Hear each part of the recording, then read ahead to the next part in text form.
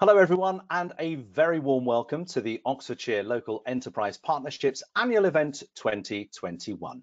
I'm Howard Bentham and I'm your host for the next hour or so as we take a business focused look back over our shoulders at the last 12 months, celebrating the many successes that organisations and companies in the county have achieved with support from Oxlep, as well as projecting forward into the coming year, outlining our continued commitment to supporting the Oxfordshire economy especially important with these challenging times we continue to find ourselves in. I remember signing off from the broadcast during last year's Oxlep annual event, suggesting we would be back together face to face in a COVID-free world, perhaps enjoying a coffee and a croissant in a venue like the Blavatnik, all suited and booted as we were before. Sadly, my mystic and psychic abilities were well off beam, and here we all are with the COVID headlines seemingly getting worse, still needing to meet remotely. I'll make sure that I make no further future predictions and leave those to our expert panel who will meet shortly. During this annual event, we want to demonstrate the role Oxlep play in helping to create favourable economic conditions here in Oxfordshire, supporting sustainable and dynamic growth. We want to demonstrate the role Oxlep play in elevating Oxfordshire's innovation-led economy, as well as creating a forum for discussion with Oxlep representatives with discussion very much in mind, please feel free to post your comments and questions to our panel throughout this presentation. There's a questions tab on this platform where you can post your points. So let's make this as interactive as possible and we'll put as many of your questions to our panelists in a Q&A at the end of the broadcast. And if you're watching this as a recording, please get in touch via the website at oxfordshirelep.com. There's been, this has been another unprecedented year with businesses having to continue to be agile and adaptable. The difficulties generated by the COVID-19 pandemic, but also the UK's departure from the European Union have come into sharp focus over the last 12 months. We'll talk about some of the key areas of difficulty locally, nationally and globally with our panel very soon.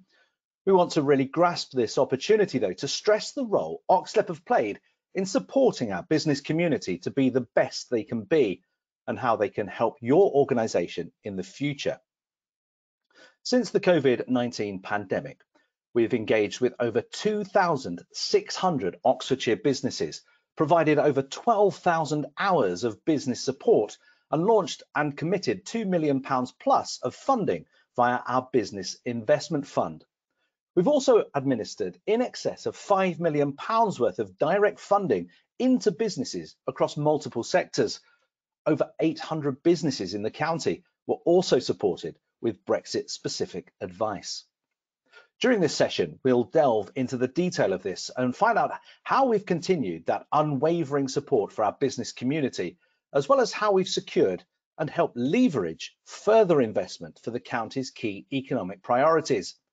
Also in the next hour, we want to show how we've continued to help nurture a world-class innovation ecosystem that led the global response to the pandemic through the development of the Oxford vaccine, as well as championing the role Oxfordshire has to play in driving forward a zero carbon future for the planet.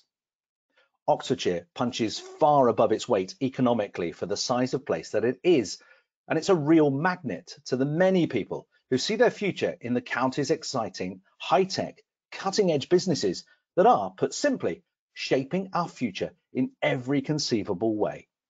Oxfordshire is a place of opportunity. There's certainly a lot of wow in the county, as this short film demonstrates.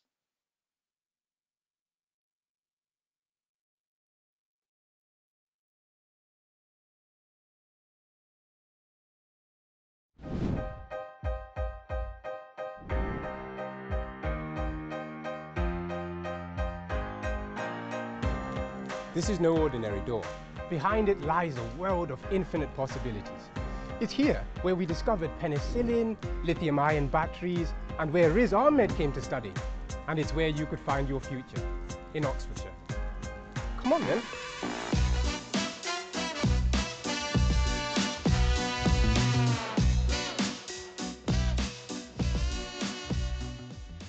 It's here that ideas are developed which have helped shape our society.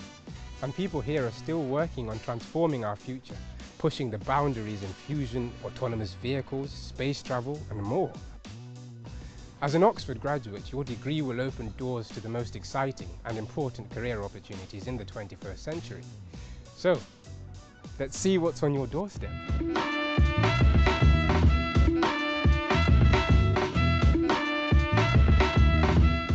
Many of the toughest challenges facing humanity are being tackled right here. From life sciences and education, to reducing our impact on the planet, from construction to cryogenics. This is Oxford Science Park. Now, I thought that working in science would be spent peering through a microscope. And yeah, there's some of that. But look at this place. You could be part of this, but it's just one of many career opportunities for anyone who wants to change the world. Perhaps you want to play a part in our country's journey to zero carbon and future-proof your career. In Oxfordshire, they're leading the green revolution in construction building zero carbon homes to combat climate change. A perfect place to put down roots. And if you're looking for answers up there, there are opportunities opening up right here. The UK is planning to quadruple its activity in the space sector by 2030, and companies like Oxford Space Systems and Catapult are aiming to capture a 10% share of global satellite applications. Then there's Rebellion, one of Europe's largest independent media companies, designing games, publishing books and comics, and making films and TV. This is where digital skills are transforming entertainment.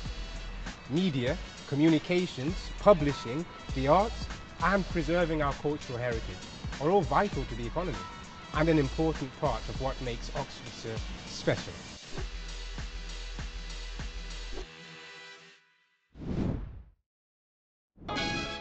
Let's talk to some graduates about their decision to work in Oxfordshire. Hello, uh, I'm Manisha Kushwaha and I got the opportunity to work at Oxford Space System right after my education. I live in a very small village, um, but I love it. Uh, that's what I like. But uh, still we are accessible. Uh, there's plenty of buses to Oxford, trains to London, and it's just an hour away from the beach. My name's Paul Farrow. Um, I studied at the Department of Clinical Pharmacology at the University of Oxford, finished my PhD and found a fantastic company. Company's grown from about 20 people when I started to now having a global presence of over 400. So it's a fantastic decision to stay in the area. Oxfordshire has one of the most skilled workforces in the country, so you'll fit right in. Maybe at one of the nine technology and business parks, like this one, Harwell, the UK's leading science, innovation and technology campus, with 200 organisations employing over 6,000 people. For graduates wanting a career in healthcare and life sciences, Oxford University Hospitals is a world-famous centre of excellence. They partner with the University of Oxford to bring innovation from the laboratory bench to the bedside. And if you don't want to leave uni life, the universities themselves employ over 18,000 people between them. Oxfordshire is growing, which means there are all sorts of opportunities for graduates to get a start. Whatever your degree, Whatever you want to do, Oxfordshire is a fantastic place to live, where you can join people who are transforming our future. So, whatever door you choose, the keys to your future await you right here.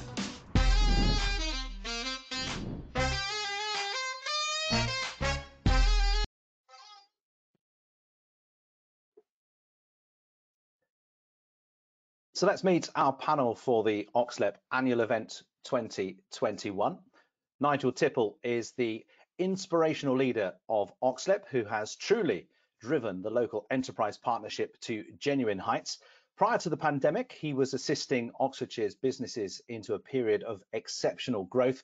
However, like all of the business community, his focus currently is getting Oxfordshire ahead of where we were pre-COVID, and with the lessons learned from the last two years, helping put these into practice around the county. Managing change and regrowth is in Nigel's DNA. He's led the way in regenerating various parts of the country in his career to date. Two years at Renaissance South Yorkshire and six years as chief executive at Regenerating Cornwall are to his credit, including being a trustee of Bike Cornwall, promoting cycling and healthy lifestyles. He's also a director of the Oxfordshire Business Awards, Savvy Limited, which is a management consultancy offering support to public, private and third sector organisations, and a non-executive director of VentureFest, which they proudly boast is the business creation networking event of the year. And also with us is Jeremy Long. Jeremy has been in post as the chair of Oxlep for nearly six years, bringing a wealth of experience from his working career leading world-class organizations in both the UK and abroad. He was until recently the CEO for Europe of the Hong Kong headquartered International Railway and Property Group MTR Corporation, where he spent 15 very successful years. Jeremy is a graduate of the University of Oxford and since stepping away from his role with MTR has taken on the non-executive director role at the transportation company CDPQ in Montreal in Canada and others. Welcome to you both. Jeremy, if we can start with you, let's uh, first take stock with a, a, bit of a review of 2021 and Oxlep's role in championing local businesses and organisations. From your perspective, what were the biggest challenges businesses were facing? Morning, Howard, and good morning, everyone. Well, I think it's sometimes difficult to look that far back now, but um, I think we all know when it first came upon us, it was the safety of our own employees. Uh, many of us found having to adapt our own practices to make sure that our own employees could carry on in many cases working, in other cases obviously pivot to home working. I think next was each of us having to look at our customer base and what it meant for us in terms of how we could go on selling and marketing our businesses. Then I think many of us found problems in our supply chain and fundamentally the effects on our cash flow. And uh, Nigel, I mean, what sort of conversations were, were business leaders having with you during the last 12 months? What were the hot topics of conversation?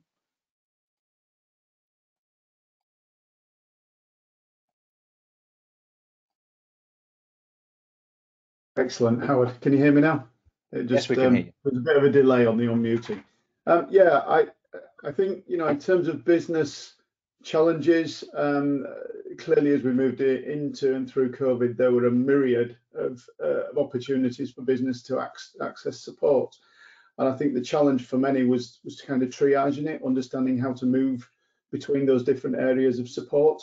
But I think if I was to look specifically at, at two or three areas, one was that clarity, um, really needing to understand where the support was and how to access it. And that's certainly where we as an organisation stepped into that territory to help um, navigate uh, and to help point people in the right direction.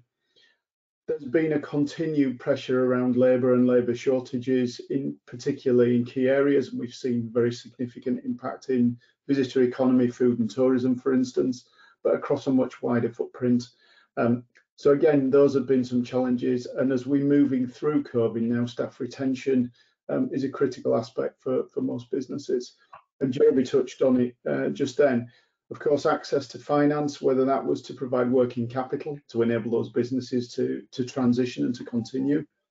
And in many cases, growth. So I think, you know, if we're looking at the support that was available and look deeper into that kind of response then growing and positioning a, a customer base has been key. Building on and in some cases developing their R&D capability and communicating, making sure that they can communicate to a wider business audience, to their customers, and to collaborate with many of the businesses who are found themselves in a similar position, but creating new opportunities in the marketplace. So some real challenges, but I think our businesses have responded. And Jeremy, we talk about businesses having to be agile and adaptable in the current climate. How has uh, Oxlep's work had to pivot in the last 12 months, not, not least in just how, how things are day to day, but also the, the offer from the organization? Well, as, as, as Nigel's just referred to, um, we've uh, stepped up our activity in the short term to support to uh, respond to government's programs that were made available and to respond really quickly uh, with our local authorities to provide grants, loans, uh, business support to businesses.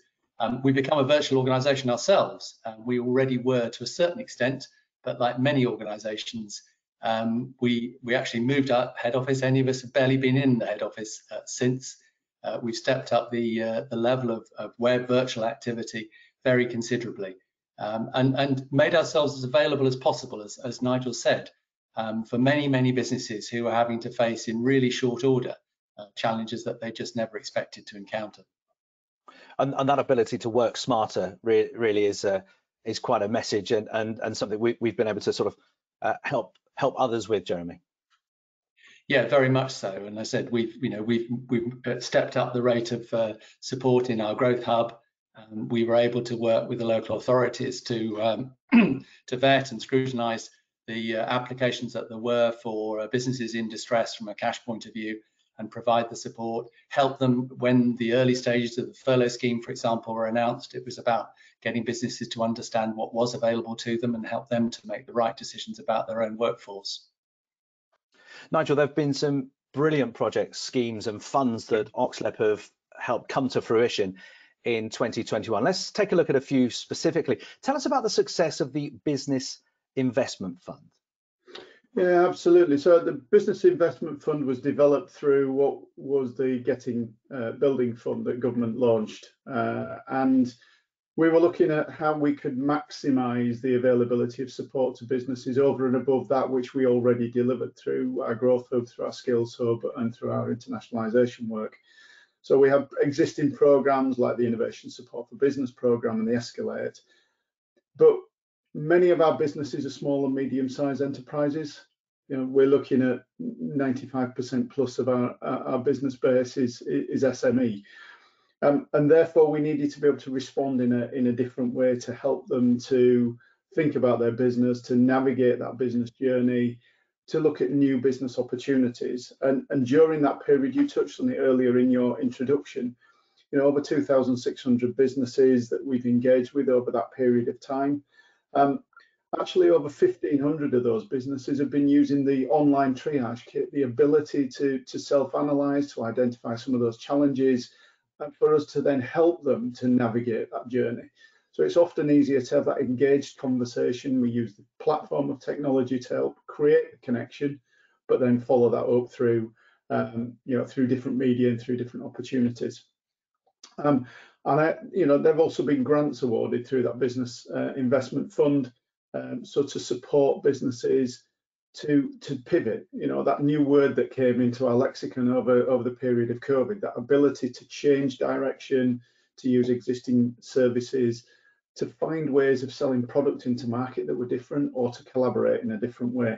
Um, and we also over that period we must remember we're dealing with the exit from the european union. We were managing a series of uh, of both pandemic and eu exit challenges. Again over 420 businesses with specific engagement to support them around that EU transition, um, and over 190 that we did some detailed uh, business planning with, really detailed work to help them navigate their, their new business opportunities. So it created a momentum, created capacity, allowed us to think a little bit more creatively about how we can support businesses with a blend of one-to-one -one support, mentoring, we also linked it with our skills agenda as well, looking at the skills and the future skills needed in those businesses. So really important program. And, and BIF itself, you know, 2.2 million pounds worth of investment. Um, that that was delivered as a series of grants, um, you know, 30 plus uh, grants going into businesses, matched uh, in many cases pound for pound and two or three of those tap social, um, local social enterprise to help them diversify uh, their, their, offer. So beyond the, the, the kind of traditional brewery element, but into food and drink more widely. Lentus Composites, one of the uh, Polar Group engineering uh, firms, who again look to accelerate their R&D program over that period of time. Um, and that's allowed them to identify new markets and to respond to new challenges and also another company there, Zeta Specialist Lighting, um, who moved into uh, electric vehicle charging systems and have worked very successfully with our local authorities on a program called Park and Charge. But specifically in this case, it was looking at how can you support um, you know, domestic market, how can you support people with charging capability within their home.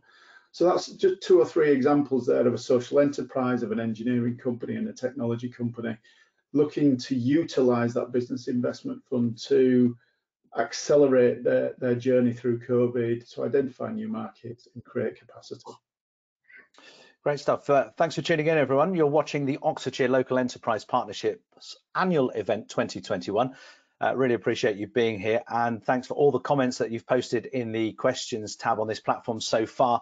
We'll be having a dedicated Q&A towards the end of the broadcast where we'll answer as many of your questions as possible. Please feel free to keep posting your comments, uh, questions and reactions uh, to our panel. If you're watching this as a recording, then you can get in touch with the team via the website at oxfordshirelep.com. Jeremy, let's delve into the detail of some of the other projects to really hit the ground running during the last 12 months where OxLEP have secured critical funding.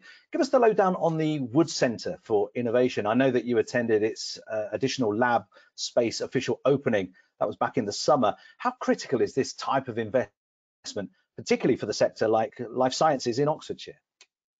Well, for those that may not know the Wood Centre, it's a, a really admirable organisation. I think it was started 40, 50 years ago by uh, Sir Martin Wood and his wife, who were the founders of Oxford Instruments. And uh, one of their legacies was to found this centre, which is a combination of science space and science education space. So on the one hand, it brings young kids in to really experience science firsthand and to experiment, play with uh, science. On the other, it's a very serious part of uh, offering wet lab space, incubator space to young businesses, some of those that we even heard in the first video. Spinouts who are looking for the very first small amount of space, and in some cases shared space, because they can't afford to have all the facilities themselves. And we got behind as OxLEP to part fund a further expansion of the space. And indeed, we are about to part fund a further expansion. And such has been the demand as soon as it opened, uh, the centre was uh, fully let, and I said with with other would-be tenants waiting. And it's just an example of the demand that there is for little businesses with their own idea, their own would-be patent in the making, uh, to look for the basis on which they can grow and nurture their idea or their their product. Great stuff. The Meanwhile in Oxfordshire program, Nigel, is looking to repurpose buildings in our changing city and town centres, isn't it? It is indeed, and, and again, it was an example of working with a wider partnership, looking at some of the challenges through COVID, particularly in this case on our high streets. And we've all seen, sadly, businesses who've not been able to to make that transition over that period of time. And yeah, you know, one of the, the, the saddest things for me is walking around a town centre with empty shop fronts, um, and particularly when it's in your community. So what we did was mobilise through the uh, the business in uh, um, the Getting Building Fund alongside some of the other initiatives, the business support and skills initiatives, to work with our local authority partners, led initially by the City Council in Oxford, working with MakeSpace, to develop a programme of uh, premises refurbishment. So that's a just short £2 million investment, bringing back something in the order of 20,000 square feet plus of what would have been empty retail space uh, as a pilot scheme within town centres, to really invigorate, to bring together the challenges of, you know, how are you as a, a small business perhaps going to be able to make that step into a into a retail premises? Quite often the challenge is head lease and covenant strength for those who understand it, the ability to pay the rent. Um, what we've done is stepped between the two. We've created a program that brings together the, the vacant space, the opportunity for landlords to be able to let that on a short-term basis and improve their cash flow, and create an opportunity for businesses who perhaps always wanted to move into high street, to move into there in a, a cost-effective way. They, they pay their rent, but but we've actually taken some of the pain of the negotiation of, of the head lease out. And that's where MakeSpace, working with our local authority partners, has made a real difference.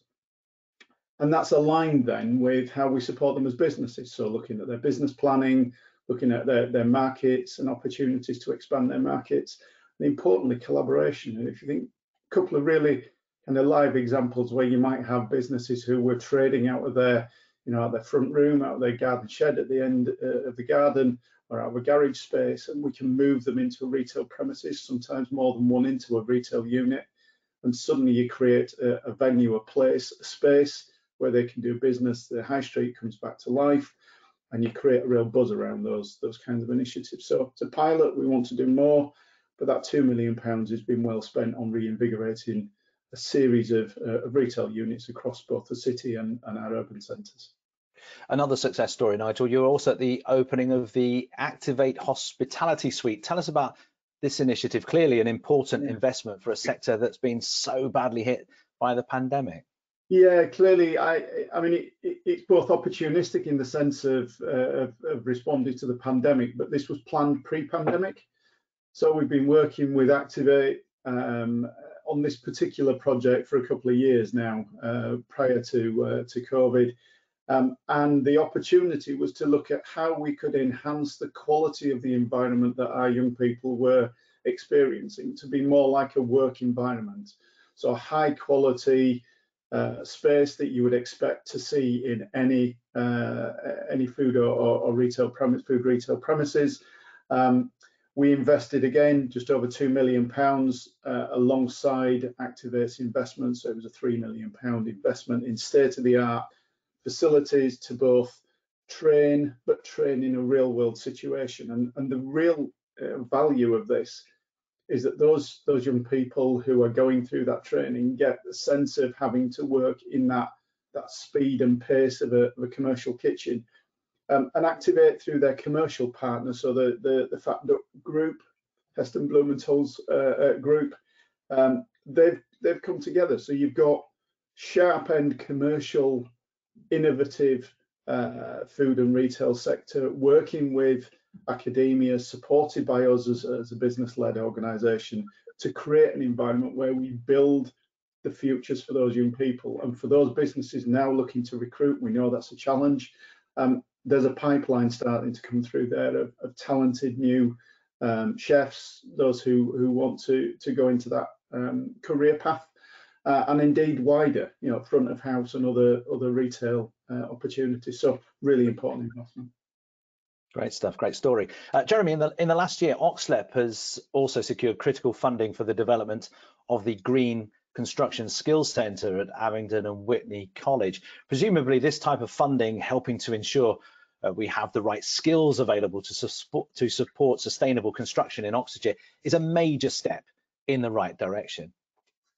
Yes, I mean, this is another example of where we were happy to support uh, another of our FE college establishments um, to be able to increase their capacity, but particularly so in a field like the green construction skills where we know there is huge demand and there will be uh, even greater demand. The traditional skills of plumbing and electrical work are having to evolve in some areas to the installation of PV, the installation of heat pumps and so on. That requires different training it's also a really exciting field and it's again a part of and one we'll come on to it later I know but where we want to encourage youngsters to see a different career path uh, in, in industries that they might have regarded as being somewhat dated but in fact have got really exciting opportunities. And before we move the conversation on, Jeremy, let, us just reflect upon and, and recognize the global capabilities of the economy that Oxlep champion. This includes the major ability in Oxfordshire to harness new technologies that can support a zero carbon future globally, uh, as demonstrated through our COP26 event and the launch of the Pathways to a Zero Carbon Oxfordshire report. Share your thoughts. Yes, I mean, we've, we've, we've focused already this morning on a lot of the tactical things we've been doing to do our utmost to support businesses in the short term in terms of the difficulties they've been going through. But we've remained also a strategic organisation as we're expected to be. And so we have continued to look at from an international point of view, how we work with the Department of International Trade to encourage talent and businesses to come here, some of the very things we saw in the introductory video. Uh, we've, we've, as you've just referred to, Howard, we've also done a lot of work strategically to bring partners together to look at the energy future uh, for not just for this county, uh, but for the nation. So we, we've, we've not lost sight of the longer term aims of continuing to make Oxford and Oxfordshire a more prosperous place to, to come and live and work.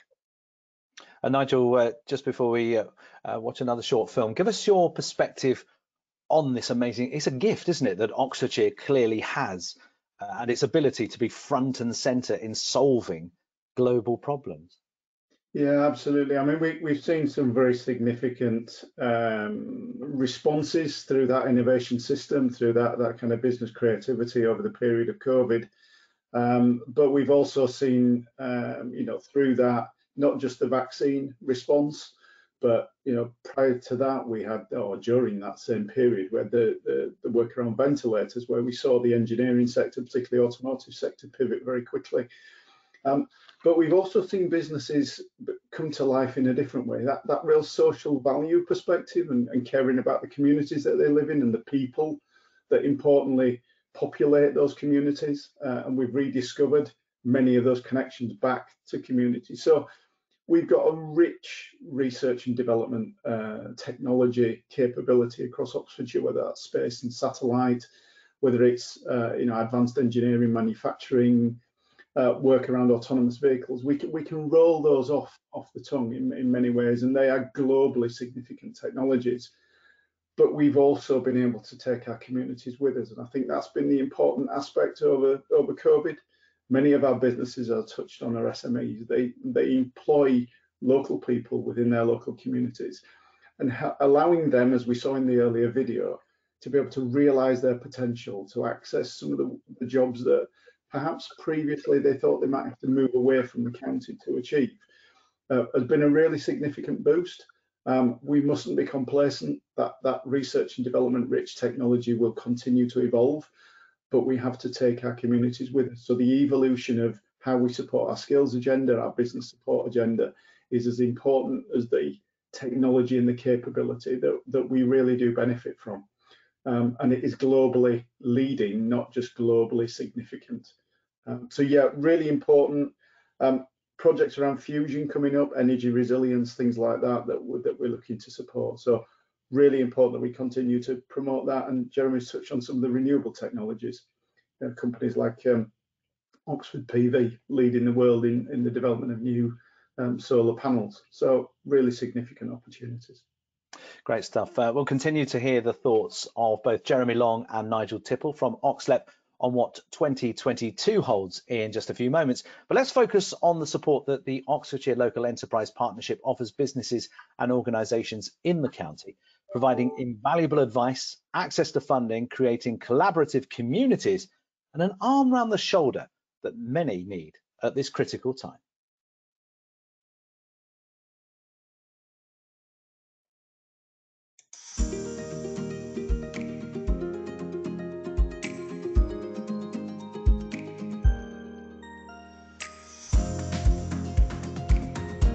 Today we're here for our third marketplace event. The aim of today is to bring together clients that we've been working with uh, over the last 18 months during the pandemic, just to get them talking to each other and find out more about what's available in Oxfordshire.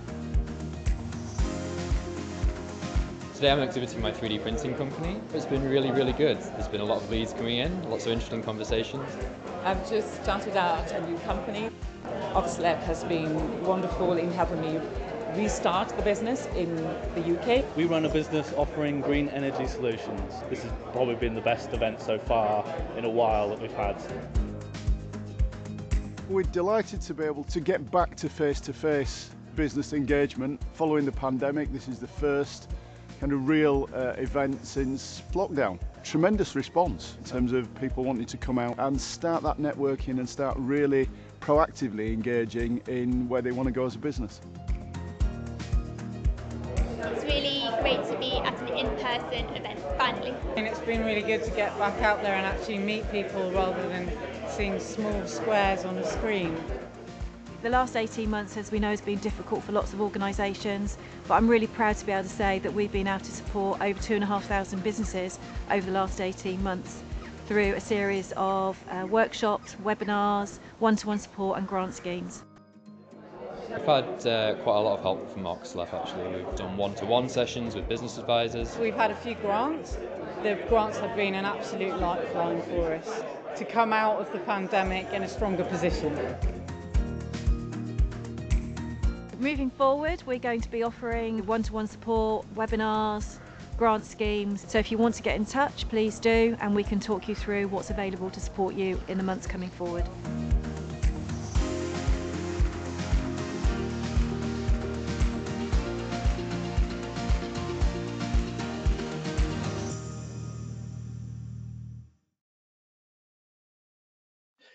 Thank you for the host of questions and comments coming from you for our panelists. If you want to add to the discussion, there is a questions tab on this platform where you can post your points. We'll try and make this as interactive as possible and put as many of your questions as we can to our panelists in a Q&A in around about 20 minutes time. If you're watching this on catch up as a recording, you can get in touch via the website at oxfordshirelep.com. Oxlep's chair is Jeremy Long and the chief executive is Nigel Tipple. Let's look ahead now to 2022 and the challenges that businesses face in Oxfordshire and how Oxlep can play such a vital part in supporting organisations every step of the way. Jeremy, we were talking earlier how agile and adaptable Oxlep has had to be in the current climate. How can businesses help themselves be ready to react as best they can to such uncertain times with the headlines seemingly going in the wrong direction at the moment? Well, let me say, let's just hope uh, that is not the case, although none of us quite know at the moment. But I think as, as, as Nigel touched on a few minutes ago, I think for many businesses, it's been a really tough period, but also one where maybe they've got to know their businesses a bit better than they, they ever have done before, whether, as Nigel said, it's their local community or in some ways actually understanding their markets. I mean, we know many businesses that really had to think about what their product was, what service they were offering, and figure out how else to be able to maybe to continue to market that, or indeed market it to, to new, in completely new directions. And I think that will remain the case. I think as markets open up again, we will see some businesses who will actually been able to move forward faster than they had they had previously thought was possible. Um, we're helping businesses uh, to find new export markets where we can. We're helping obviously businesses to find new ways, new ways of directing what they might have thought previously was a single source of uh, product for them into into new areas. And the resilience that I think again um, another word that we've all come to to use more often than we felt we had to previously to find ways of uh, one's own business being more resilient at different levels of activity. Many businesses have had to, to scale down, partially scale down, in some cases close completely, and figure out for them what survival means, or running at half uh, pace and be able to gear up again. So they've learned um, processes uh, which will make them more adaptable in the future if that need sadly does arise. Nigel, what practical help is there in place from Oxlep currently, or perhaps in the pipeline, to enable businesses, as, as Jeremy has just alluded to, to be fleet of foot when they need to adapt? Absolutely. We have uh, we've touched on several times the, the, the breadth of business support that's available, but that's um, sometimes easy easy to say and and and difficult to navigate. And I, I touched on it earlier. We have the capability through our growth hub, through our business support team, to be able to have those conversations on a one-to-one basis with businesses to better understand some of the challenges that are always unique to that business. You know, there may be a there may be a common thread in there, but the particular challenges are unique to individual businesses. Um, and the team of advisors, the work that we do through peer networks, through the mentoring uh, opportunities that we have, the diagnostic toolkit that I referred to earlier begins to help people to identify some of the challenges. So it could be new markets. It could be looking at, know, we touched on the example of the business investment uh, fund grant to Tap Social earlier. Uh, that was about them looking at, you know, their way of moving forward and their their principles around the, you know, social enterprise and, and supporting communities. But they're also a business. If they're not a business, then they can't operate, they can't trade and they were looking at new markets. So they, they moved into you know bakery and a whole range of other things. But that was about how do we help them navigate that journey? So what do they need? How do we support them? In that case, a grant helped them.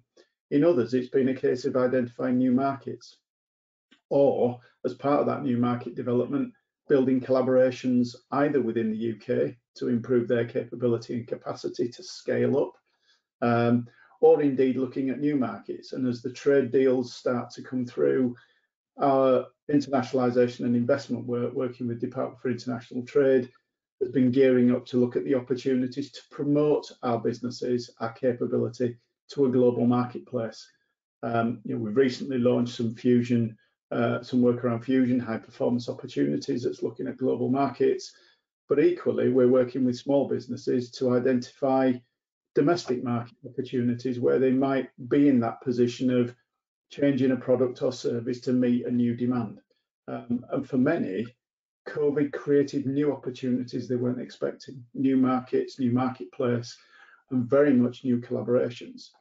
The other element is skills. Um, our skills team working with, again, employers, working with schools and colleges to identify the future skills needs for those businesses, to help inform the way that our colleges and our schools can can teach uh, and to create the right kind of training programs. But importantly, businesses going into schools and creating the connection so that young people can see where they can work, what the opportunities are. And we also have a very strong apprenticeship program where we're looking to work through and with businesses to create those opportunities, but using the young people as ambassadors. It's far easier for them to motivate fellow young people, you know, coming through school who they can recognise, who they can see as a as a kind of peer group, uh, in order to motivate them, and, that, and that's across a wide range of technologies and capabilities. So, real opportunity to uh, to accelerate the support that's available. Use our website, use our, our connections through our growth hub, our skills, and our internationalisation work. And we would encourage any business, large or small, just to you know to engage with us um, we, we can route people to new opportunities, we can signpost to all the supports available. And Jeremy touched on it earlier, that that kind of triage role, that ability to navigate between the funds, between the opportunities and direct business. Running an environmentally sustainable business, Jeremy, uh, is only going to become increasingly important. What role can Oxlep play moving forward here?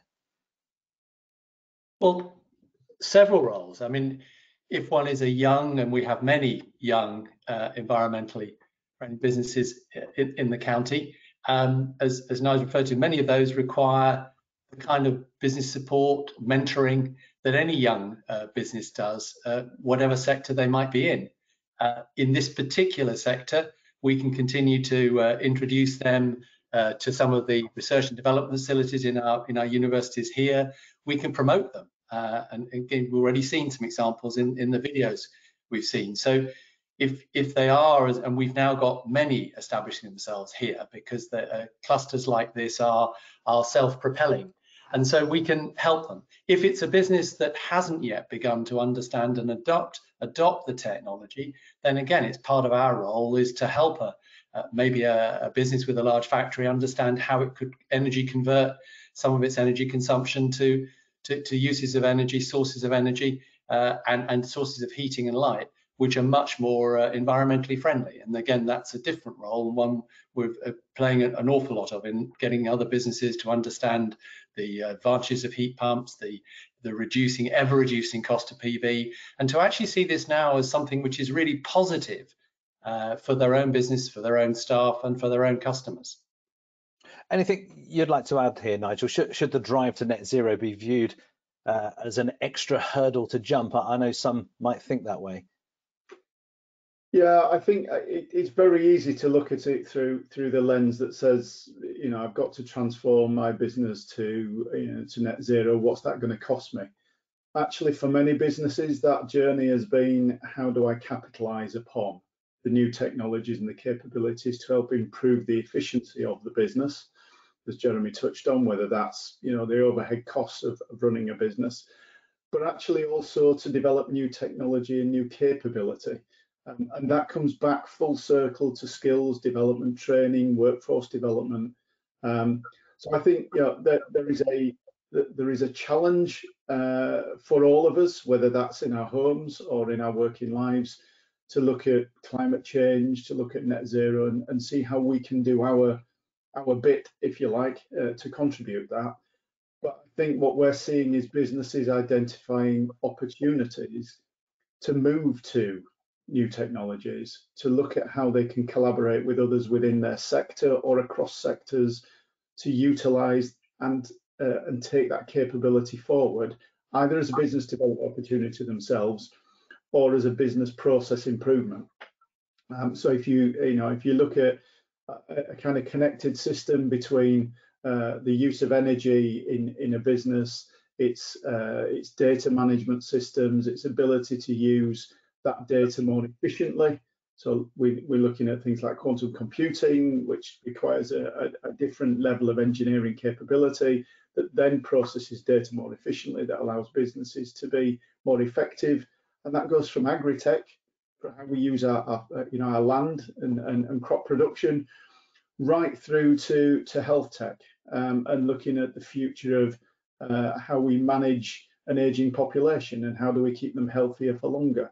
Um, all that adds to our ability to, to manage efficiently resources and that can drive down our uh, our impact on the climate, our use of resources, um, and, and just think, you know, everything from the minute we get up in the morning to, to, to the point at which we go to bed on a night, how do we most efficiently uh, support uh, our lifestyles? And in the case of our businesses, how we support them to transition through new energy systems, through new working practices we're covering an incredible amount of ground here. Uh, I mean, Oxfordshire just has so much going for it, doesn't it? I mean, the world-class visitor economy for one, Jeremy, that was one of the hardest hit sectors in the pandemic. How will Oxlep help that sector recover?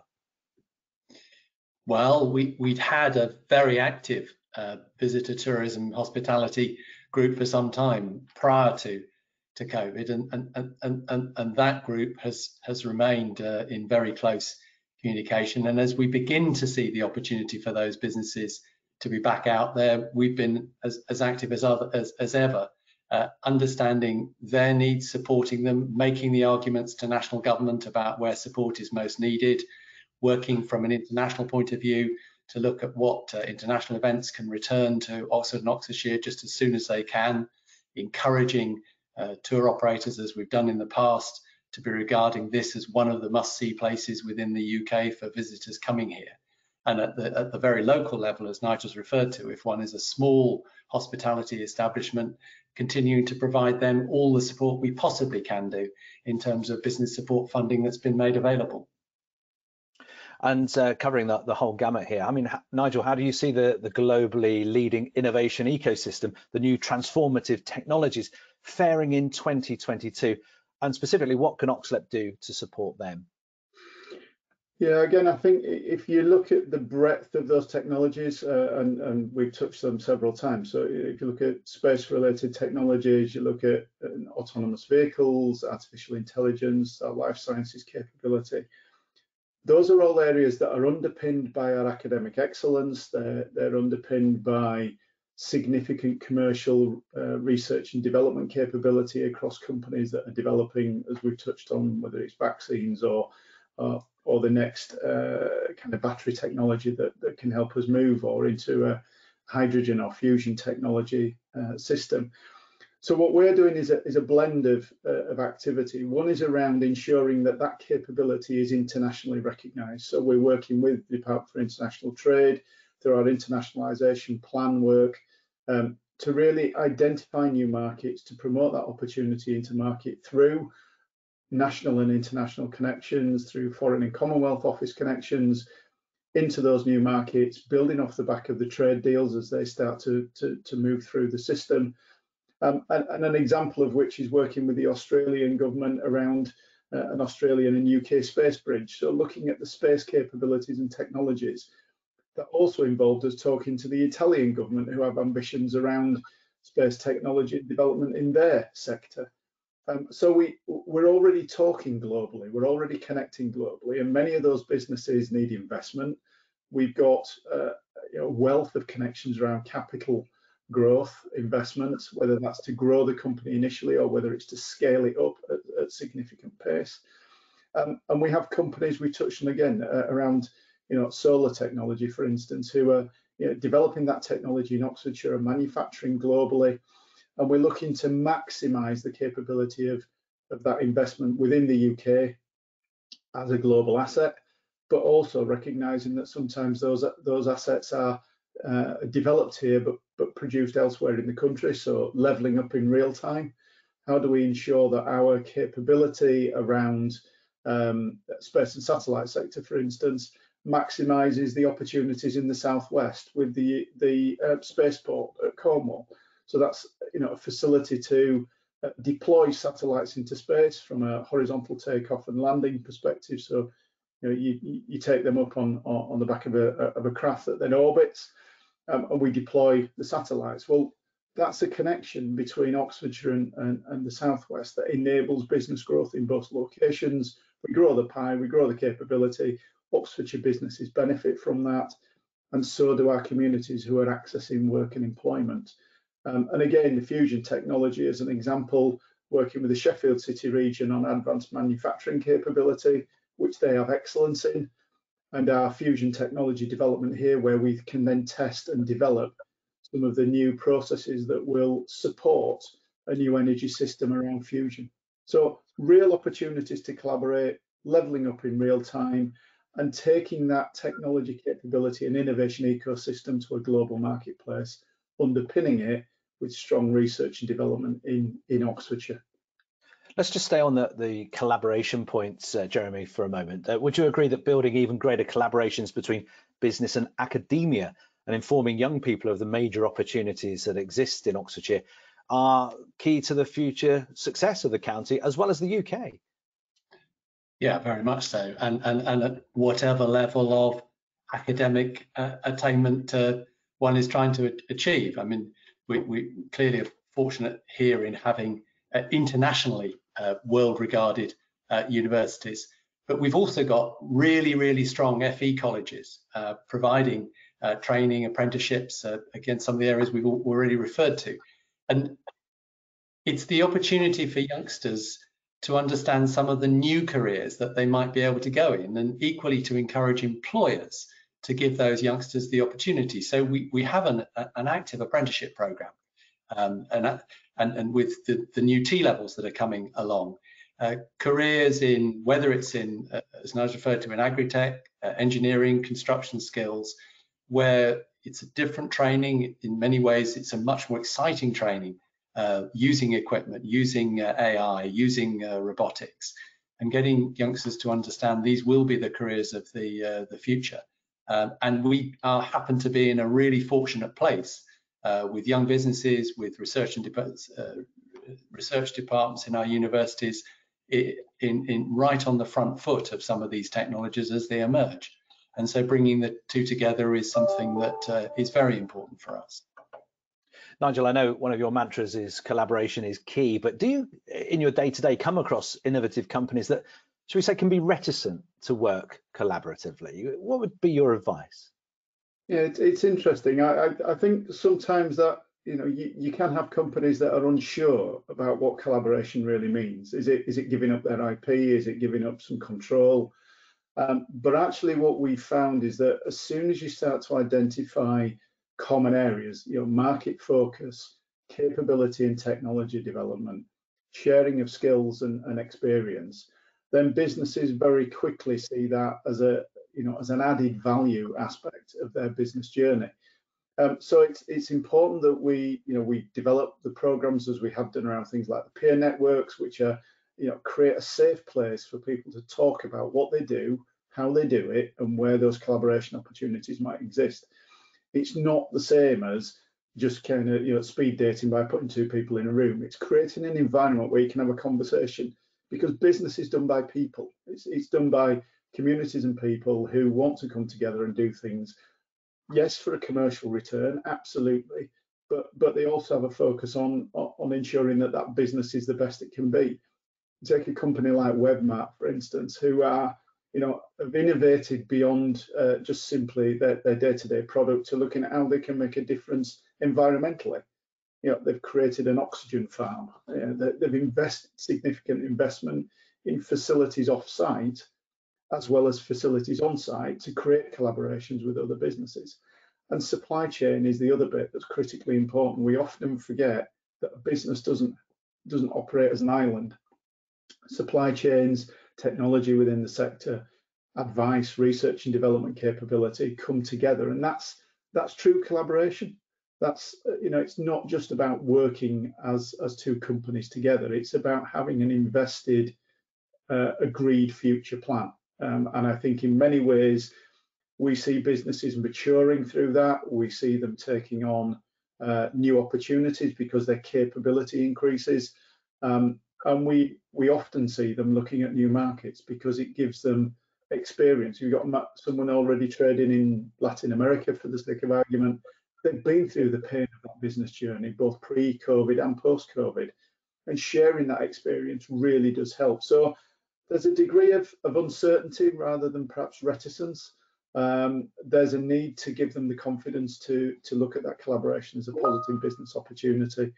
Um, and I think you know, in many ways, um, we're seeing our support across the business skills internationalization platform as part of the uh, the connective tissue, making the connections, creating the safe place for the conversation, and allowing the businesses to do what they're best at, do their day job, develop, innovate, and create real value for Oxfordshire, for the UK, and in a global market sense.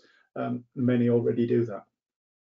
Jeremy, uh, you touched on the, the crucial role new talent plays in Oxfordshire's continued growth and development.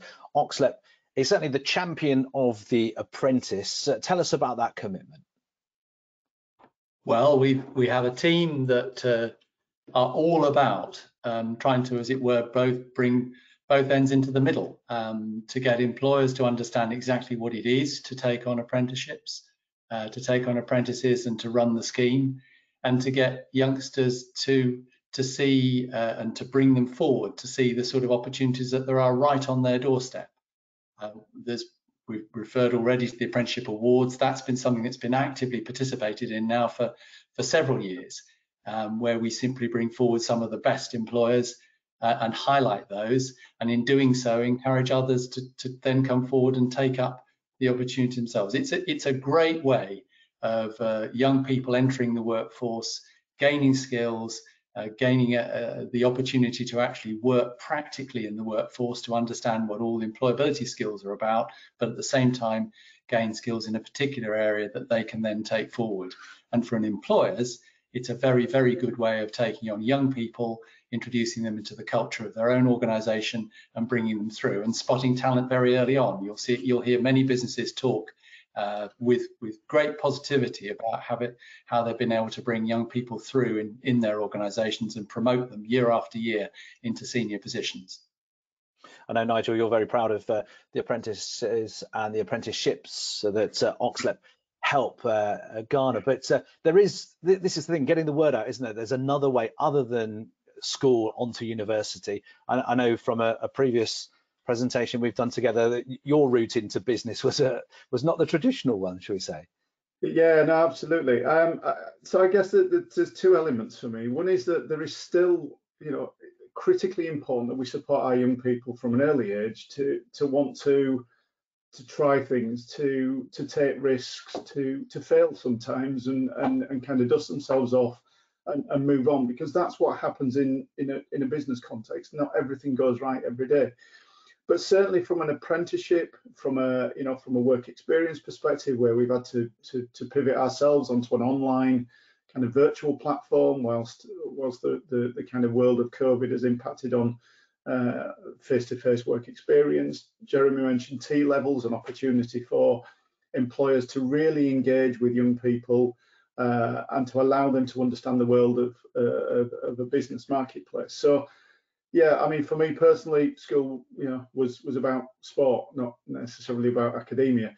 Uh, and uh, and I spent 15 years at night school afterwards and did a, an apprenticeship along the way. But um, I, I, mean, the reality for me was, as a as a young person, I just didn't know what I wanted. I didn't have at the time the kind of infrastructure that we've put around uh, our young people. I didn't have a peer group that could interest me in apprenticeships at the time you know, it was a, university was never an option for me. Apprenticeship was what I fell into when I left school with no qualifications. Um, but but that was because I had an opportunity. Now we've got young people, apprentice ambassadors, going into the workplace, encouraging businesses to think about apprenticeships, to really advocate for the skills, the capability, and the energy and enthusiasm of our of our young people. And you know, we're blessed with that in many ways, and, and we ignore it at our peril. And I think employers are recognizing that. You'll see far more blended programs of apprenticeship, graduates. Um, you'll see people coming in from school at, at, an earlier stage of apprenticeship. You'll see them coming in at an advanced level um, and, and sometimes coming in, you know, 17, 16, 17 years old, going through an apprenticeship, going on to a degree course that's relevant to an industry and a sector that they've got a real interest and a passion for and you know being that really valuable member of staff who's who's invested several years going through an apprenticeship and you know companies we see them across oxfordshire who have eh, their senior board, their management teams, their leadership teams have got apprentices that come through the company right the way through. Darke and Taylor is a perfect example of you know of a management team who have come through from an apprenticeship right the way through the company and are running it now and are absolute advocates through that apprenticeship awards uh, process, but also through supporting our, our young people. So there, there are several routes, and I think what I would encourage is all young people and those looking to retrain actually to just take advantage of the support that's available. You can go onto our website, you can see the support routes, we can we can provide advice and guidance. Um, but really just try because I didn't have a clue when I left school what I wanted to do. I went into forestry, I went into arboriculture, I ended up going through you know landscape and all sorts of things and ended up managing programs and then managing companies and then managing you know LEPs and various other things. Uh, that route wasn't traditional and 15 years at night school along the way. For others, it's about taking that school experience into the workplace through work experience, demonstrating capability, perhaps then returning as an apprentice, and I know many do.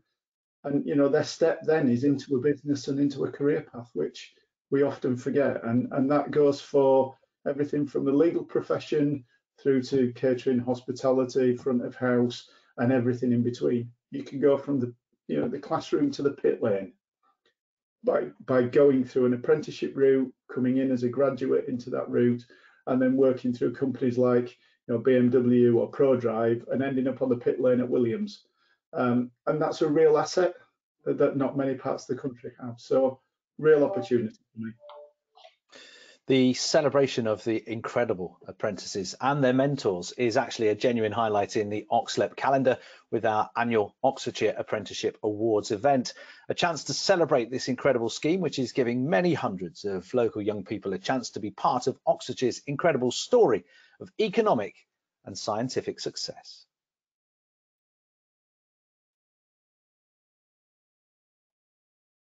Welcome to the Oxfordshire Apprenticeship Awards 2021.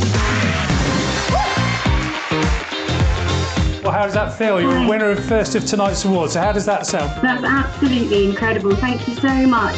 Huge congratulations, Mia. How does it feel to be the Intermediate Apprentice of the Year? Absolutely amazing. Huge congratulations for winning this award. That's a fantastic achievement.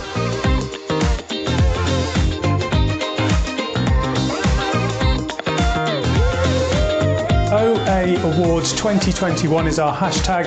So let's have a quick look at our social media wall. Stars ready? We're pleased to announce not one, but two overall winners this year. So, so congratulations, congratulations, to both Amelia and George as our overall winners.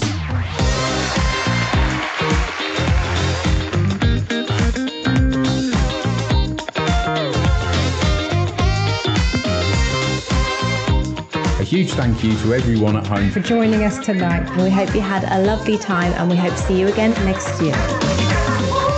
Bye bye. the successful crop of apprentices uh, from, uh, from 2021 and nominations for next year's event are now open. Find out more at oxfordshirelep.com forward slash OA Awards 2022. You've been very busy posting questions for our panel of Jeremy Long and Nigel Tipple. Joining us right now is Rob Panting, who's Oxlep's communications manager. And he's been fielding your responses to this year's Oxlep annual events. And we'll pose some questions to Jeremy and Nigel right now. Rob, over to you.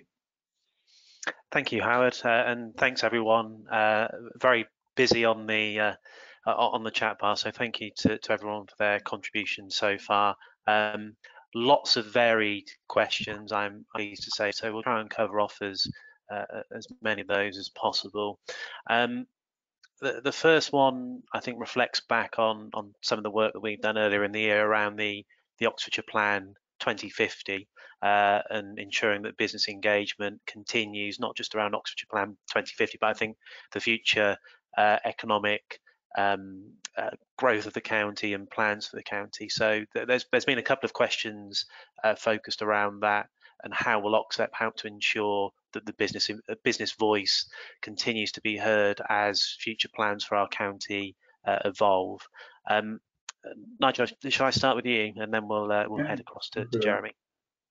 Yeah, so as you mentioned, we we've taken a proactive approach for many years now in in ensuring that we advocate for and and get real business engagement into many of those statutory consultation processes. And the Plan 2051 is probably in in the last 10 years is the most significant opportunity really to help shape um, the future place that those businesses will operate within and the and the future uh, communities that that will support those businesses with workforce. So, you know, for us, um, ensuring that we work as part of a whole system, as an Oxfordshire whole system process. Um, I meet regularly with the local authority chief execs, um, actually on a weekly basis, and have done over the last two years, really, to to make sure that we're getting visibility of some of the challenges that businesses are facing. So if you think about the COVID pandemic, um, immediate response from government with a variety of funding uh, response packages, but businesses needed to be able to navigate those. And the feedback that we got through our growth hub um, of the challenges that those businesses were facing, accessing those grants, accessing some of the financial support that was available, was really important to help inform the business department in government about what was working on the ground.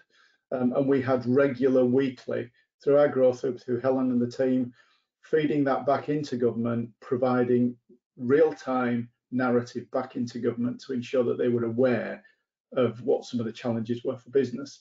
And again, if you if you fast forward to to the most recent consultation engagement around Plan 2050, then that was about making sure there was a balance in that plan, recognizing that for businesses to continue to meet uh, their growth aspirations, that we need the right balance of infrastructure, the right balance of utility provision in order to support that business journey. And we've seen significant investment into our business parks, into our science parks, um, into uh, locations like Harwell and Culham and Begbroke and you know the the, the Oxford um, uh, Business Park and Science Park, where major international investments coming in. That's about ensuring our businesses can help inform what they need to be able to continue to grow and to create the opportunities for both our existing communities and our future ones.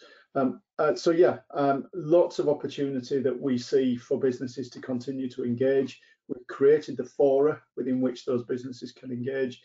Through our board, through our subgroups, we can help shape the strategy that evolves from that, whether that's economic, whether that's response uh, around visitor economy and a lot of work going on on that at the minute, with visitor economy businesses at the heart, um, and significantly our businesses who are looking to grow and develop on you know existing and future sites. So getting that balance between places to, to work, places to live, and the quality of the environment that, that we all cherish um, is something that business can continue to play an active part in through that consultation process.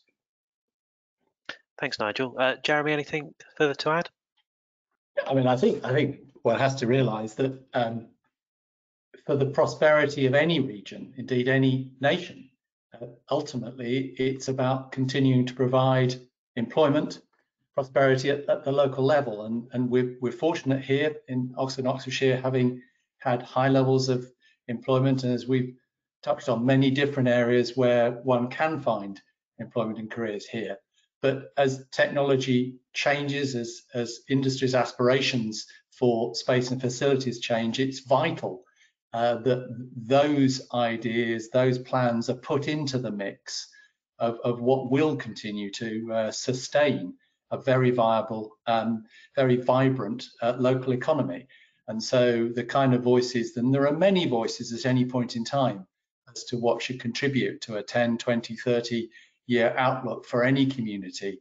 Um, but it is essential that businesses can say, this is how we see our businesses evolving. These are the kind of technologies. This is where we see employment, our requirements, and that is put into the mix in terms of planning planning the region.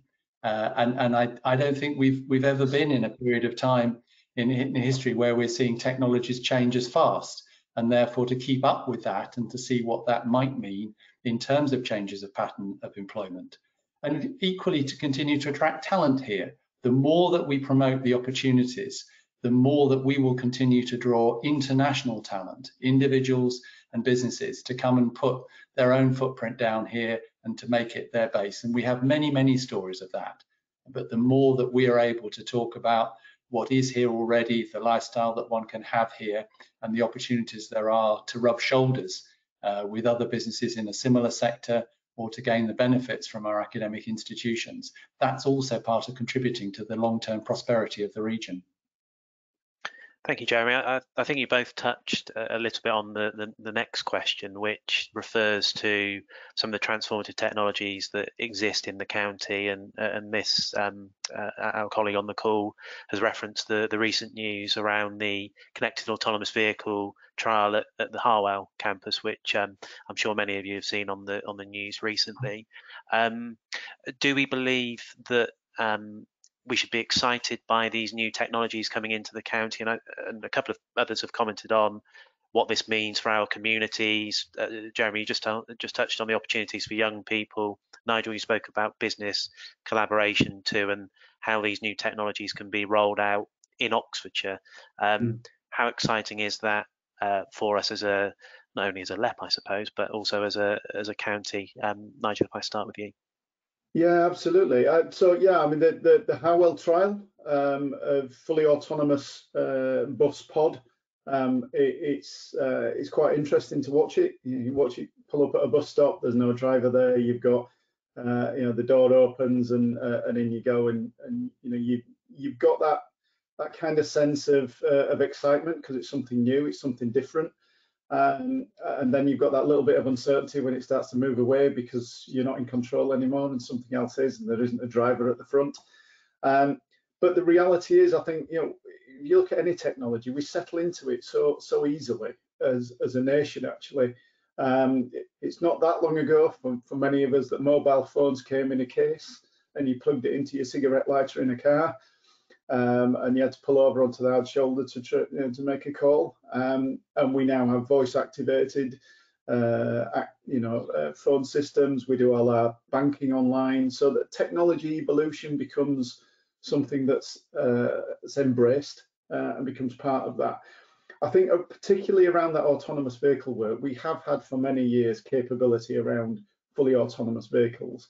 Um, and we've seen them running around the streets of, uh, of Oxfordshire, particularly around uh, the, the, the, kind of um, Summertown and Headington areas where Oxbotica were running trials of fully autonomous cars. Now, um, a little bit disconcerting if that car pulls up at the side of you at set traffic lights and there's no driver in it. So there was someone sat in the driving seat.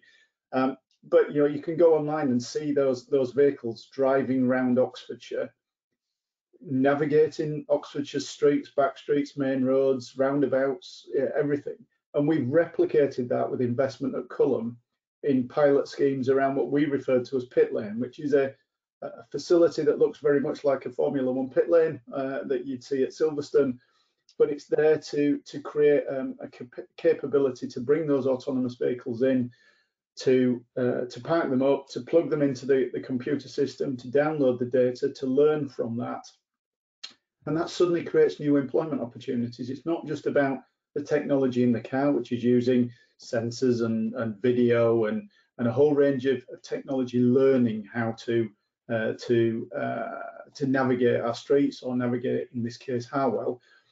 But it also creates capability around data management that links to our ability to use satellites, to use the future of quantum computing and its larger data capacity. So real opportunities, real things happening in our, you know, in our streets, in our, our business parks, in the case of, of Harwell. And I think it does create opportunity. You know, there will be places where those autonomous vehicles can add real value. We jump on, uh, you know, on a train uh, with a driver a long way in front of us and, and don't think about that. You know, it, the, the possibilities around creating more efficient ways of, of moving our, our, our, people, goods and services around using autonomous uh, vehicles, drones, a variety of things, I think will become um, second nature to us in time. Um, but it is about our future and it is about embracing it uh, and not seeing it as, as negative, but as an opportunity to learn. Uh, and, and the Harwell one is a key example. Relatively safe environment, live running uh, in in the sense of we've got people and roads and junctions, roundabouts and level crossings, uh, and you know we can we can now that technology to develop for our future benefit. Thanks, Nigel. Uh, maybe um, perhaps a comment on the uh, how excited our communities should be uh, around these technologies existing in in Oxfordshire and, and not just existing in Oxfordshire. These are you know the best technologies in the world being developed here and and what it means perhaps for our communities to to really um, um, benefit from them and and show a real interest in them too. Well, I think it, it, it's probably fair to say in many cases uh, our local communities aren't aware of many of the new technologies that are being developed down the road um, from them, and I'm not surprised by that. I think when I first uh, came to be involved in in Oxlep and, and, and took on the chair, it was it was something of a realization for me as to just how many uh, sources, centres of excellence that we, we have here in the county. So uh, part of the role is to try and demonstrate whether it, whether as it were one's talking to parents, grandparents, or to children, if you like, in terms of generations, whether it's helping them to be consumers and users of new technology, or absolutely where, as, as we've been talking about this morning, where it's about talking to uh, to younger people um, who will look to the careers of the future in some of these areas, and and that pace of change, as I've said, is is very dramatic. Uh, the kind of 10-year half-life of some of the changes of these technologies is very substantial. So there is very much a role, and the universities recognise that here uh, themselves as well, with the number of open days, the number of showcases, that they are very happy to provide to try and encourage everyone locally to come and see exactly what's uh, what's going on and to open up their own research and development facilities. We're very, very fortunate, but we must go on making sure that there is that right level of awareness uh, because this is what will continue to drive the prosperity of the region and thankfully will be part of driving the prosperity of the nation. And we can benefit other regions. I mean, uh, as Nigel referred to a few minutes ago now, we can help other regions to benefit off the back of some of the things that are happening here and in turn therefore make them more prosperous in, the, in, in their own terms. Thanks, Jeremy. That, that actually leads very nicely into our next question. Uh, we've we've had a couple of questions with regards to the Oxford Cambridge Arc and and the role that the Arc will play uh, moving forward, particularly around um, uh, attracting investment into not only Oxfordshire, but I guess the the wider region, um, the ability to connect, um, uh, whether it's investment or organisations from further afield with our excellent science and innovation uh, led economy. Um, uh, maybe just uh, briefly uh, a response to the role that the Arc can play moving forward. Nigel, again, we'll start with you and, and then we'll go on to Jeremy. Yeah, thanks, Rob. Um, I, I, think there are two key areas. One is the point we've been stressing all day, which is around collaboration. It creates opportunities for businesses to work together, for us to work together with other uh, geographies, whether that's LEPs or local authorities, to promote the capability, um, not just the sectoral expertise, but the cross-sector capability that we have um, and back in 2019, uh, I was involved in uh, very early stages then promoting the potential of the ARC and some of the common areas of interest, whether that was autonomous vehicles we've just touched on, space and satellite. We've got Harwell with the, the largest concentration of space-related companies in Europe, uh, but we've also got Westcott across the border in Buckinghamshire um, that has some of the world-leading propulsion systems. Now, we don't need to replicate those capabilities. What we need to do is work together to make sure that the journey for business is something that's seamless and that we create international opportunities for those businesses.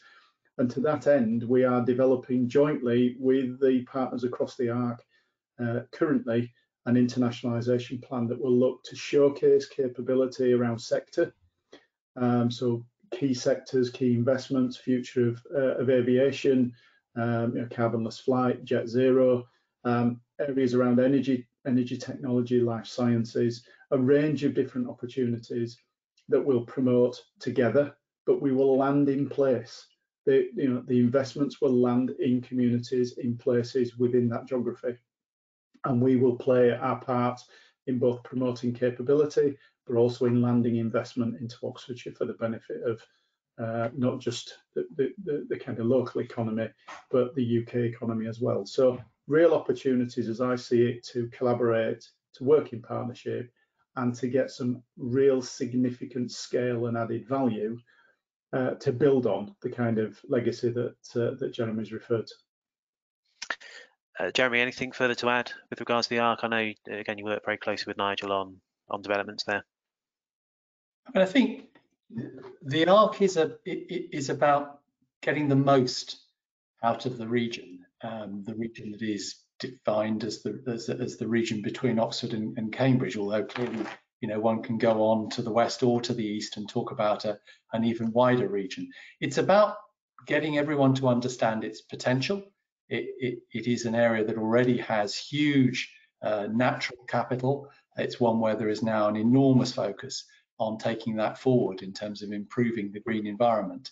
But it's also one of uh, where one can see uh, businesses beginning to put themselves down in places that they may not have been aware of across the arc, but yet still provide good transport connections, not just in and out of London, which is the way it was traditionally seen, but uh, east-west, west-east. And so the arc is about making the very best of what we already have and over time and making it into an even more successful region, working with the local authorities who clearly have the right to plan it on a local basis, but encouraging businesses to look at it in the widest context and perhaps not uh, always to try and cluster around currently the areas of the most intensive industrial activity.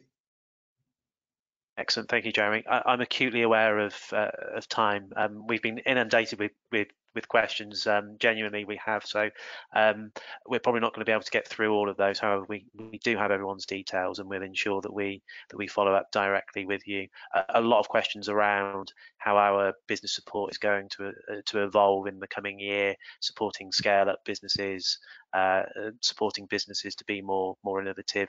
Um, we'll certainly get in touch with you individually and ensure that you're signposted to the to the right support moving forward. But um, thank you to, to everyone for, for sending your questions across, and, um, and we're very uh, very grateful. Howard, back over to you. Many thanks to Rob Panting, Oxlep's communications manager, with a host of your questions and points from today's discussion. And uh, as Rob alluded to, we'll get back in touch with you uh, to try and answer the points that you've raised. Uh, so we were obviously inundated with a number of questions today, which is uh, great. And thank you for tuning in. Similarly, if you're watching this as a recording, and you want to get in touch, please go to oxfordshirelep.com and contact the team that way. As we heard from Jeremy and Nigel earlier, many of the answers to the global issue of reducing the impacts of climate change are being developed right here in Oxfordshire. Numerous organisations have potential solutions to the challenge all of us face in getting to net zero, but need the ability to scale up and to finance their companies and be able to make a difference. Recently, Oxlep hosted an official COP26 event from the University of Oxford. The aspiration of the event was to showcase Oxfordshire's potential to be able to take a billion tonnes of CO2 out of mankind's impact on the environment and how Oxfordshire leads the global charge to address the climate emergency.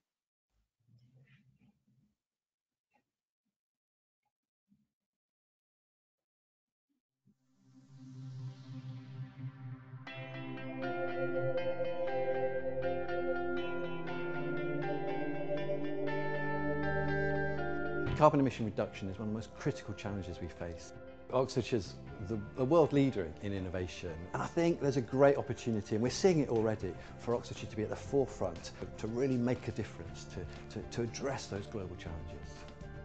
We have to get this right. We have to get this right for now and for the future, for the children of tomorrow who are going to be the ones living on this planet but also creating the new solutions to the world's greatest challenges.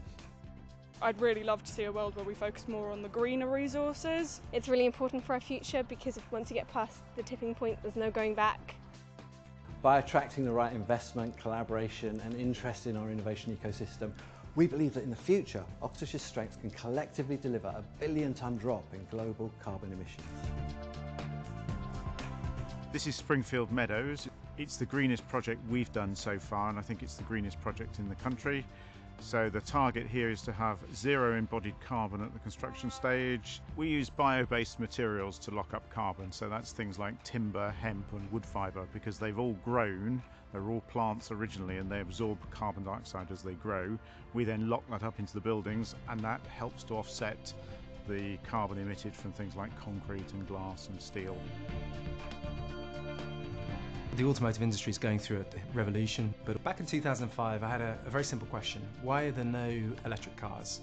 And um, I did a PhD at Oxford University, and that led to the spin off of Yasa Motors in 2009. And we've been working and perfecting this motor technology for the last 12 years. We need to find ways of getting energy into the households, into the industry, into the country. A very good cell today can maybe absorb 22% of the solar spectrum and convert it into uh, electricity. Now, if you can increase that percentage, and that's what we do, then of course, with lower space, you can generate the same amount of electricity. All organic matter emits methane as it decays, and if you don't capture it, it's 86 times more damaging to the planet than CO2. We're focused on dairy farms, um, and we also focus on small-scale farming. So that means any dairy farmer with 75 cows or upwards, they can deploy this technology and use that captured methane to power the farm, to power tractors, excess can be sold off into transport to power heavy goods vehicles. So it's that complete closed loop circular economy. QDOT was a spin out from the University of Oxford, out with a mission of trying to enable clean flight. At the moment, planes use a lot of power during takeoff, but actually quite a small amount of power during cruise. You can size the engine to be as really efficient at cruise, and then you can use something like battery power to supplement the power during takeoff. And that can save you up to about 25% in fuel consumption. Fusion energy can be a safe and sustainable part of the world's future low carbon energy mix. It's got lots of attributes that make it really exciting as a low carbon energy source. It's abundant, lots of energy is released from that. At Culham, we've got two major fusion experiments. We've got the Joint European Torus, which has been running here and leading the world in fusion research for several decades. We've got the MAST experiment, that's the UK's national experimental facility in fusion. So ultimately we're all trying to produce fusion power plants, power stations using fusion that will keep the lights on, power our homes, power our factories. We're doing the research that will lead to that. If we were to build every house in the country in this way, that's lots of insulation, very airtight, and then we put lots of solar panels on the roof. That means you can generate as much energy each year as the houses use to get to net zero energy. There's 3 million houses planned over the next 10 years by the government, and that would save 600 million tonnes of CO2 emissions. So it is pretty significant. Obviously, we are delighted to be part of the Mercedes family now. Each electric car takes a significant amount of CO2 off the road. This adds up into uh, tens of millions of tonnes of CO2 over, over the life of the vehicle. So these are really significant um, environmental impacts. A 150 cow dairy farm can reduce carbon by 2,800 tonnes a year. And that's 150 cow dairy farm. Ahead of COP, the 26 countries are committing to cutting methane emissions by 30%. And to be a part of that, to be at the forefront of that, so yeah, the future is incredibly exciting. QDOT's based on the Harwell campus in South Oxfordshire. In the energy cluster, it's just a really exciting place to, to be with people and to collaborate with really intelligent, really excited people in the kind of science and technology field. This technology will be one of the most important technologies for solar, so it will be deployed worldwide, right? And we can say it has its roots in Oxfordshire. Oxfordshire has a great history of developing pioneering solutions. This is about dealing with the issues now that gives the, a future to our young people, to, to our grandchildren. Change is something we all need to embrace and to make the world a brighter one for our generation and for generations after us. Oxfordshire is in such a great, strong place to lead the charge, really, to reduce carbon emissions with the research capabilities, the ability to innovate and be creative about um, addressing these challenges that we face.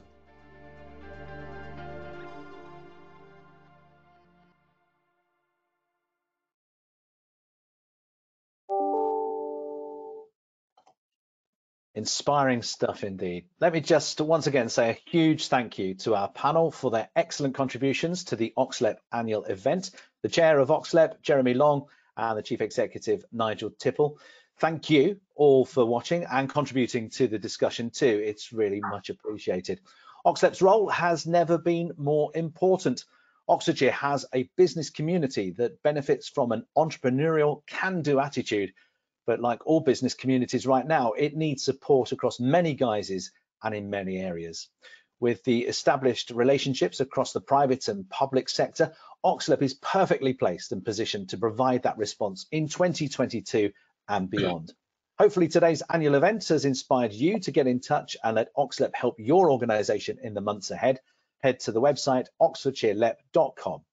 As promised, I won't make any predictions about next year, but I can wish you all a very Merry Christmas and a happy, prosperous and healthy new year. And that's about it from me, Howard Bentham. Thanks very much for being part of Oxlep's annual event 2021. Stay safe and goodbye for now.